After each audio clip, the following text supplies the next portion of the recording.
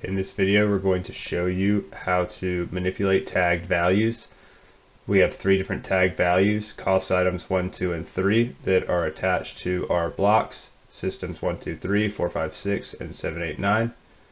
You can see that if we go down to tags, we have our different tags that we've added our values to. And you see them across here in the table. And what we're going to do is we're going to add up the tagged values. So we're going to show you how to do that using metachains. So starting from scratch, we're going to start with a profile diagram and a BDD. We're going to start with our system 123 block and our customization. We're going to create a new stereotype on our profile diagram and we're going to drag that stereotype onto our customization to make it the customization target and add attributes to our stereotype. We're going to type the attributes of the stereotype with type real number and we're then going to go into our system 123 block and apply the cost item stereotype that we just made.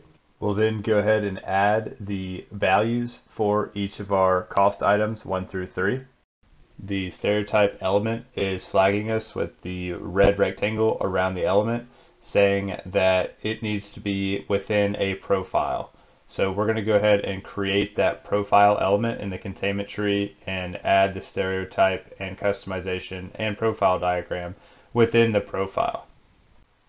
We're going to go ahead and create a generic table and we'll add our cost item stereotype as the element type field and we'll just do the entire model as our scope.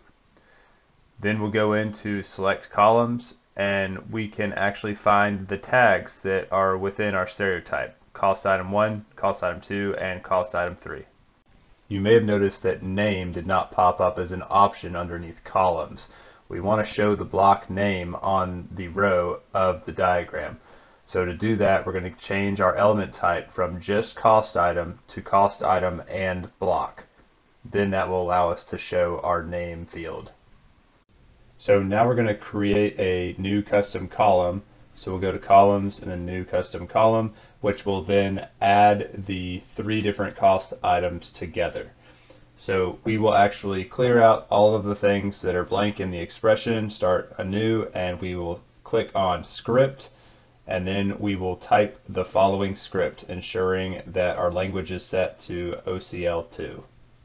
arg1.taggedvalue.value.ocl as type real arrow sum and we'll make sure that our type is set to real. We'll select single value. So arg1 is the contextual variable this, which means that it's talking about the row in the table system 123 block. So we're going to be looking at the tagged value of the system 123 block. The tagged value's value, which would be the actual number, and then we're going to convert that number to a real from a string and then we're going to add all of those now real numbers together. And you can see that it added 2 plus 3 plus 5 equals 10. Now we're going to go ahead and create a new custom column that's going to add the cost item 1 and cost item 2. Fair warning, this is in depth and kind of painful to get through. So the first thing I'll do is change the type to real and then I'm just going to remove all the excess expression. I'll click on script as I did before ensuring my language is OCL 2.0 and in the body I will type this arg1.taggedValue arrow select x of arg2 arrow includes x dot value dot OCL as type real, arrow, sum. So to break that down, we'll remember that arg1 is this, which is a contextual variable, which is going to be the system123 block. So the tagged value of the system123 block is going to be cost item 1, 2, and 3. Argument 2 is something we're about to create using a filter, and we're going to hand pick which cost items we're trying to select.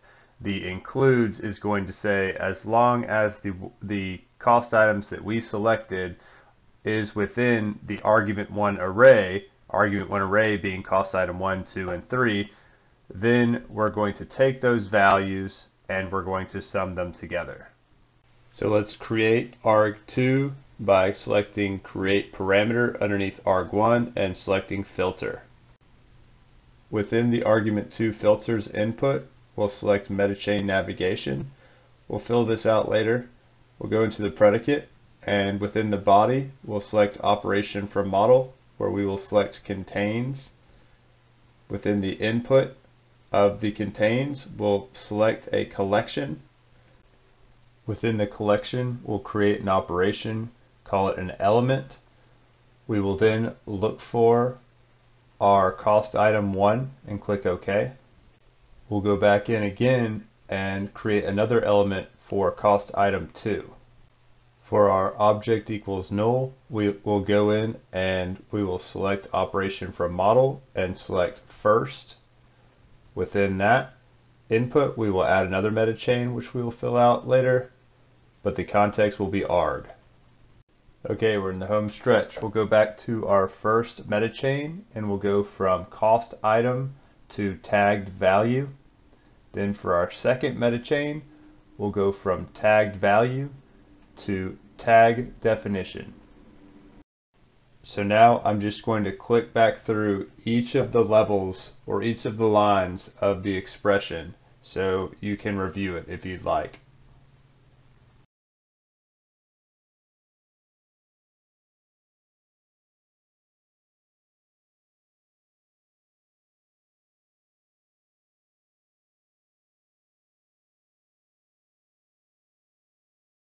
When we click OK, you can see the cost item 1 and 2 column is now populated with the number 5, which is 2 plus 3, so it is correct. Now I'm going to go ahead and edit this column again, and instead of adding 1 and 2 together, I'm going to add 1 and 3. We're going to remove some of the excess uh, blank expressions that Cameo gives us, and then we're going to go into the cost item 2 and change it to cost item 3, and click OK.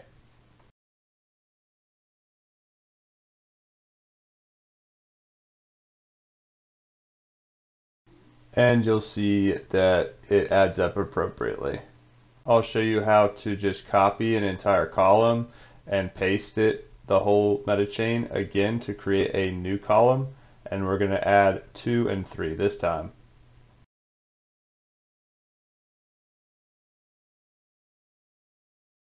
We accidentally forgot to add our type of real and that's why it errored out the first time. So if we just open it back up and change our type back to real click OK you'll see that it works. And of course this is scalable so we can go back to our BDD and create several more system blocks and add the stereotypes to them and then show them in the table